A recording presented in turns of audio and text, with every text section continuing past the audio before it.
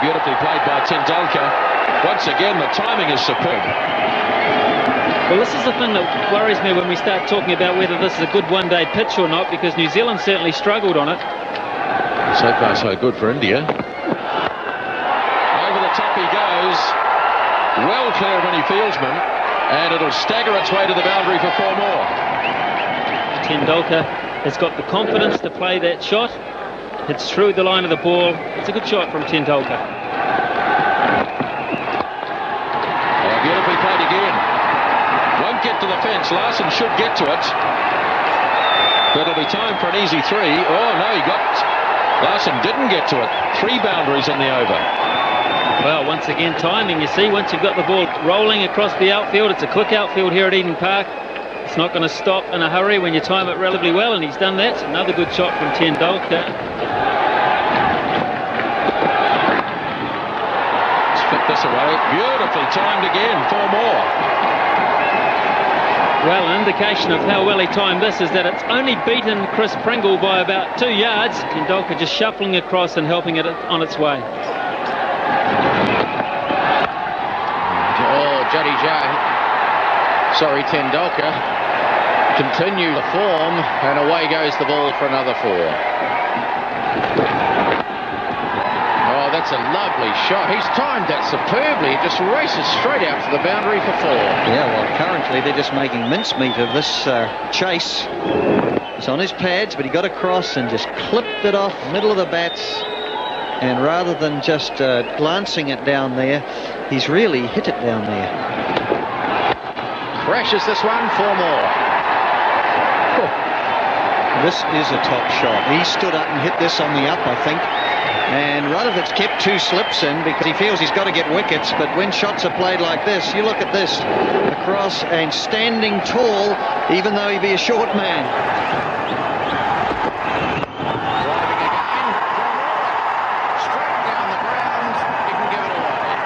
What a batting treat we've seen this afternoon. It really has been absolutely sensational. And look at that, just straight down the pitch, lofting it one bounce. Well, Bob Cunis, this man is a wonderful player, and we're seeing the best of him today. Just uh, look at this. He was on his way. I mean, Larsen must have seen him coming. He had time to readjust, but he kept on coming and, and just went through with a shot. I can't believe how much power he's got when he hits the ball. I mean, he's small in stature. When he hits the ball, does it stay hit? 47 from 32 balls, a strike rate of just under 147. So he's scoring about one and a half per ball, and the worm has just lost its way. He's hit that over mid-wicket for four, or just over square, really. It went much squarer than that. And that's his 50 for Sachin Tendulkar.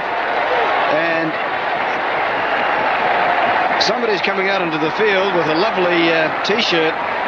Delighted at 51 runs from 34 balls. And there's 10 fours there, and they've been wonderful shots. All over the top he goes again. This is high in the air. And how far is that going? It's up in the terraces. But uh, what a tremendous shot. See, look at the power that he hits the ball with. That's a big hit out there, Peter, into the, the terraces down there. And look at the eyes. They're pretty high, aren't they? Because that was hit very high. And when it comes down, Gavin Larsen knows exactly how far it's gone. The bat looks pretty warm, okay, doesn't it? Jimmy, come on, fella. That's Adam Parore. He's not getting many past the bat at the moment. Down it goes again over the wide arm. Well, this is just magical. One bounce four. Tendulkar is 61, and he's had 37 balls at 79 for one. And Tendulkar decides to put it down to fine leg. Oh, that's absolutely magical batship. They pulled the player up from fine leg to get him inside the circle so they could push another one out. And Tendulkar obliges by putting the ball down there. Well, you know, I feel he's playing with the bowlers. He's enjoying that contest out there. He's just showing who the master is. Well, the last four was the one down there, and they'd pulled the fine leg up into the circle, pushed the man back there, because you can see that's getting a bit of a hammering too, and he just obliged by putting it down there. And he's going through the covers again, and that's another four. Well, where can this man hit them? He can hit them everywhere. Well, what a delight this has been. Tendulkar is sensational. Well, what can you say, Peter? You've described it all. Well, where's Pringle going to bowl now? Where would you bowl, Bob? Square leg is vacant. It's four again. I know Glenn Turner's got a plane to catch, but maybe Tendulkar has too. Rutherford's come in to give some moral support to Pringle, but it's Pringle who's got to bowl the ball.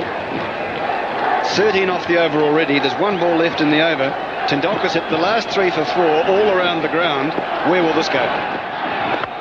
There it goes, straight over long on. It's not hit too well this time, so it'll bounce.